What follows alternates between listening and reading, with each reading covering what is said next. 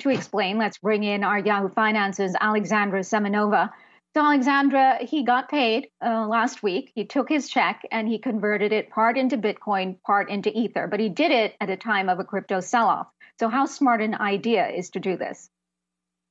Yeah, Karina, New York City Mayor Eric Adams lost about $1,000 converting his first biweekly paycheck as mayor to Bitcoin and Ethereum uh, after they plunged. And this is according to analysis, an analysis by the New York Post. Um, he's one of several high profile figures who have come out and said that they're going to accept their salary in Bitcoin to make a statement on where they stand on financial innovation. And with uh, digital assets becoming increasingly institutionalized, crypto payrolls are something that have come up often, but are still kind of you know working uh, their way out in terms of the logistics. Um, so politicians like Eric Adams, like Mayor Suarez of Miami, are doing this to uh, kind of pave the way forward for their cities and try to you know be the leaders of financial innovation for the cities that they represent. Um, but the recent pullback that we have seen in the crypto market really underscores the risks of choosing to convert your salary into crypto. And one of the biggest most obvious risks is the volatility that we have seen in this asset class. Um, big price swings can dramatically affect the actual sum of what is paid out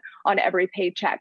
And while there is potential that this could rebound and there is potential for upside uh, for upside, excuse me, um, experts say that you know the reason that they're taking on only part of their salary is because they can afford to weather this level of risk whereas ordinary people perhaps can't afford to get their wages paid out in crypto and risk um, you know the asset class plunging. Karina Oh, hey there, uh, Alexandra. It's it's Alexis. I know, and just to be clear, Mayor Adams is taking his first three paychecks uh, in crypto, and, I, and then he's reverting back uh, to, to, the U.S. dollar. Um, but aside from all the volatility in the crypto space, why might somebody want to think uh, before they actually make that decision to take their salary in, in crypto?